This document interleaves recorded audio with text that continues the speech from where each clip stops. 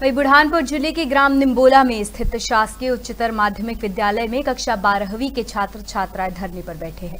उन्हें मूलभूत सुविधाएँ भी नहीं मिल पा रही थी, वही पीने के पानी के लिए उन्हें पास ही के पुलिस थाना में जाना होता था। तो वही सफ़ाई के लिए पहले ही उन्हें ही करना होता था, उसके बाद कक्षा में अध्यापन कार्य प्रारंभ होता है, जिसे लेकर शिक्षकों और प्राचार्य के खिलाफ नारेबाजी की गई। वहीं एडीएम वीर सिंह चौहान का कहना है कि जिला शिक्षा अधिकारी को मौके पर भेजकर इनकी जाँच करवाते हैं और विद्यार्थियों को मूलभूत सुविधा और शिक्षकों की व्यवस्था कराते हैं। सर वो डिप्रेशन में जाते हैं सर क्या हमारी पढ़ाई नहीं हो रही है सर हमारी पढ़ाई हो ही नहीं रही है। एक ही पीरियड लग रहा है फिजिक्स का। और तो और सर स्कूल में जरासी भी साफ़ सफ़ाई नहीं रहती है। यहाँ प्यून अवेलेबल है, लेकिन प्यून कोई साफ़ सफ़ाई नहीं करता है सर और पानी पानी का भी सर हमें निमोला पुलिस थाना है, वहाँ जाना पड़ता है सर हमें बहुत ही दिक्कतों का सामना करना पड़ रहा है। इसलिए सर हम आंदोलन कर रहे हैं और सर मैं इतने दूर से असीर से आता हूँ पढ़ाई करने के लिए। सर लेकिन लेक्चर ही नहीं लग रहा तो हम कहाँ से पढ़ाई करेंगे? क्या नाम आपका? सर मेरा नाम है दीपक पवार कक्षा बारहवीं का छात्र हूँ।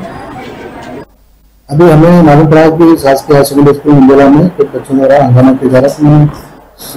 डीओ को भेजा है संबंधित स्कूल में जाकर देखे टीचर है या नहीं नहीं तो अन्य वजह से व्यवस्था करके उनको पढ़ाया जाए। तब तक अतिथि शिक्षक की व्यवस्था न हो निमोला हाई सेकेंडरी स्कूल में बच्चों ने धरना प्रदर्शन किया था। जैसे ही हमारे पास जानकारी आई मीडिया के माध्यम से, हमने, हमारे यहाँ से दो कर्मचारियों को वहाँ की जानकारी लेने के लिए भेजा और वो प्रतिवेदन लेके आए हैं। प्रतिवेदन में बच्चों ने ये बताया है कि जीव विज्ञान एवं रसायन विज्ञान के हमारे पास शिक्षक नहीं होने के कारण पढ़ाई उसकी ठीक से नहीं हो पा रही है।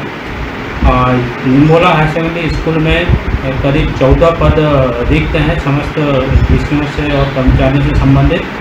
और इसके ऊपर रिक्त पदों पर अतिथि शिक्षक रखे जाते हैं। अतिथि शिक्षक की व्यवस्था के अभी कोई निर्देश नहीं आए हैं। इस कारण अतिथि शिक्षक अभी नहीं रखे गए हैं।